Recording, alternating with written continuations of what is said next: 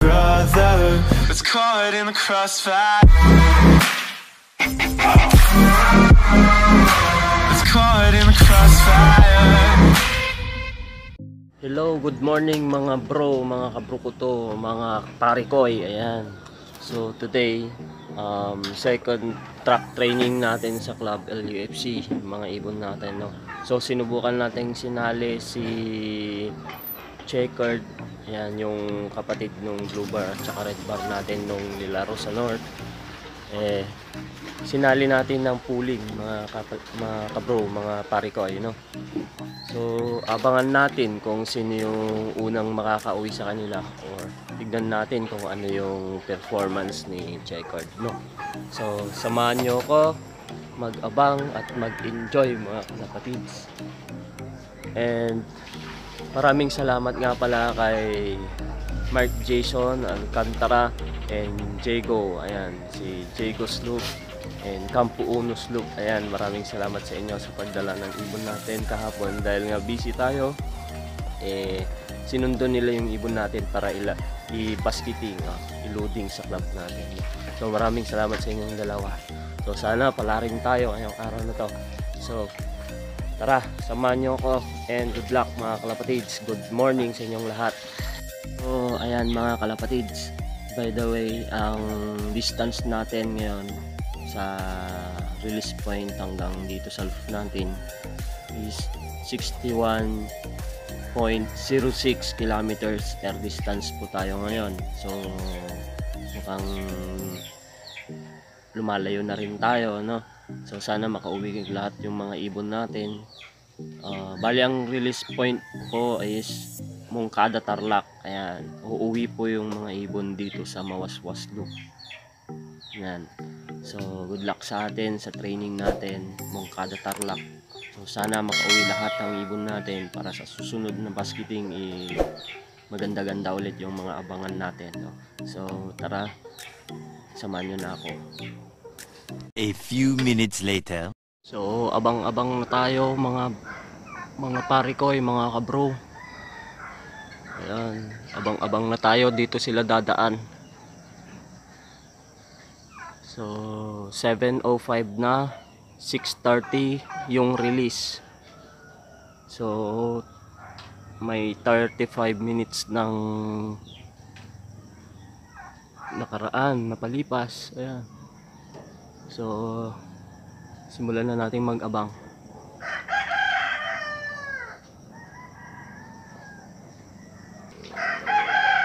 Yan, maganda-ganda yung panahon, maganda yung panahon, maganda, maaraw.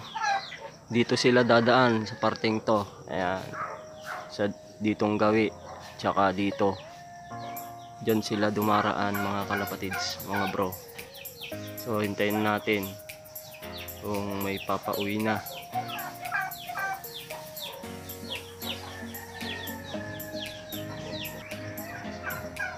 So ayan 7.15 time wala pa rin. So aabang tayo. Ayan nagdami ng ibon no? Nagliliparan. Ayan.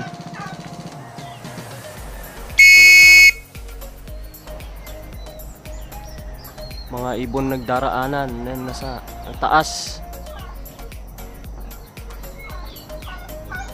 Ang taas May puti dumaan pero ang taas. Ewan ko kung kaninong ibon yon So 7 7:15 Nag-aabang na tayo. So sana may pauwi na tayo. Eh na ibon natin no.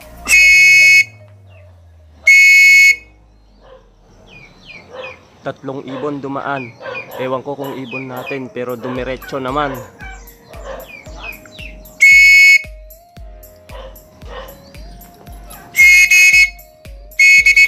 Na mga kalapatids, dalawang ibon natin.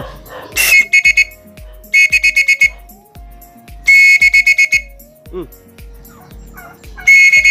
Ayan na, tignan natin kung yung pinuling natin mga kalapatids. Andyan na nga. Ang magkapatid.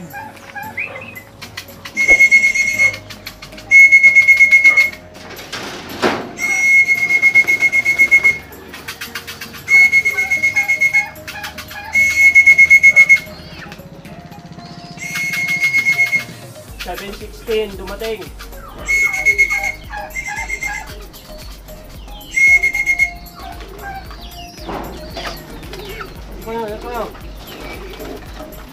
Ada grisel, may grisel na kasabay eh. may grisel. So, mga kalapatids, ayan, kapit. Kapit yung sticker. Ayan, kaya na. Ah, post muna natin kasi ikaklak lang natin. Isa lang kasing gamit nating barya, barya. Mahirap kuskusin. Ah, post natin, clock lang natin mga kalapatids. Kids, clock na tayo. Yung sinali nating pooling, yung inaasahan natin, natupad. Siya yung unang umuwi ngayon pero hintayin natin kung pang ilan tayo sa clocking ano. So ito yung checkered na sinali natin. Ayan. Ayan. So sana hindi tayo masipa para tayo yung manalo no. So dumating sila 716. Ayan. Sayang. Ah. Ah. Bali ang speed natin 1297. Muntik nang nag 13 mga kalapatids. Ayan, nagulat tayo no. So sana tayo yung palarin ngayong araw na to. So abangan muna natin yung mga kasama nila. So dalawa na yung pauwi natin. Bali may anim pa tayong aabangan. One ko na eh. Junior Jago. Na, ang dalawa natin. May dalawa ulit tayo, mga lapatids. Mga pari ko, ay, ayan.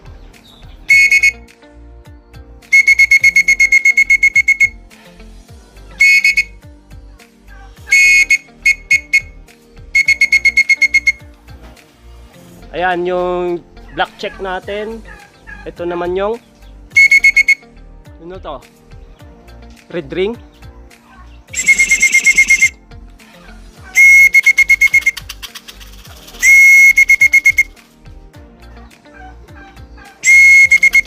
Anak ng PHA yung blue bar. Ayan. Ajihin na pa? Hmm. Yung kapatid ng nasayo. Pasok! Ayan. So may apat pa tayo mga kalapatids. So time check, dumating yung anak ng PHA natin is 720 yung dalawa natin at yung black check.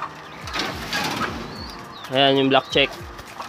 720 and then ito yung blue bar. Ayan ayan so sino yan? Ah, yung mas maitim yung mata. So may apat pa mga kalapatids. Mga bro mga parikoy. Abang abang ulit tayo.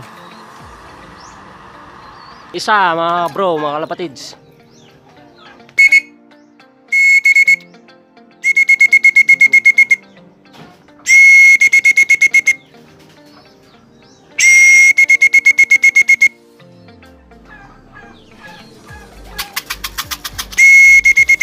Ah, yung basra natin. Ayan, yung basra natin. Dumating.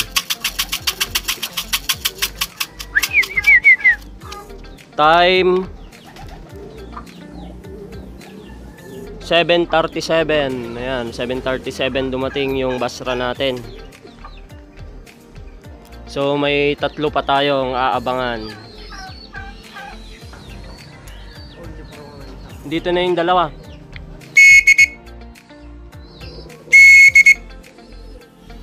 Nako Wala yung muliman natin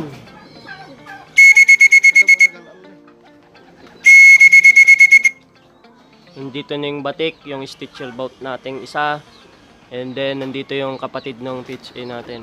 Ayan. Pasok!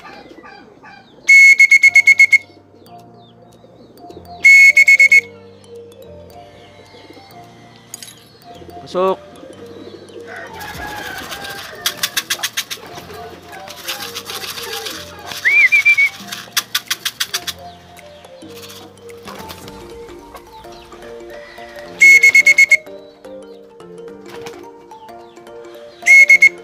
Ayan, dumating na yung dalawa natin.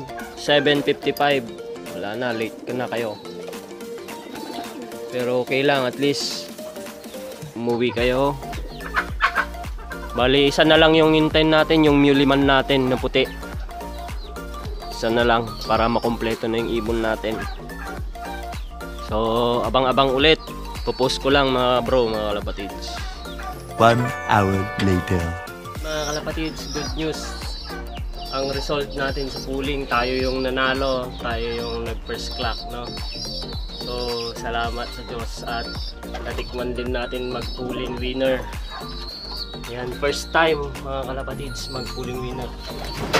Kasi yung mga nakaraang mga sinasalian natin nung sa North, eh mga muntikan lang tayo. Pero ngayon, patunay na na nga, nanalo tayo ng pooling. No?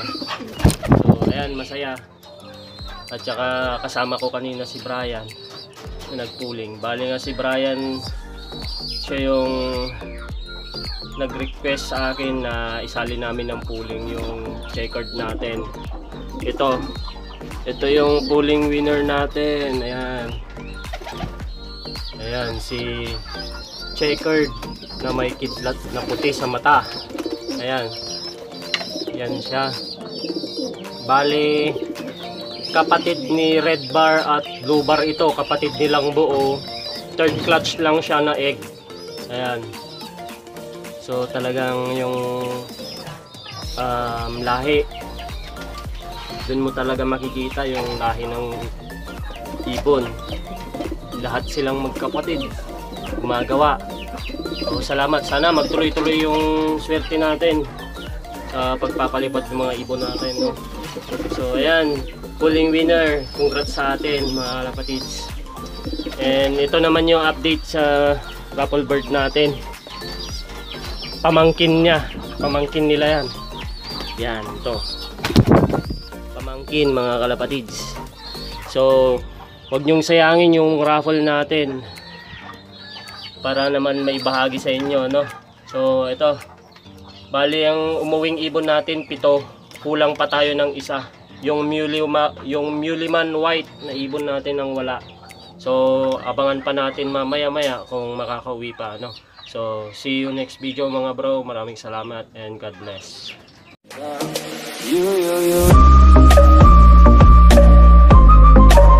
California